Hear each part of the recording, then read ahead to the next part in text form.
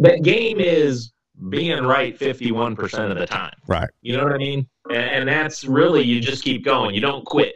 That's the one thing about America that still is true today. It's the one country in the world where you can fail a hundred times, but as long as you get up and try 101, you can succeed.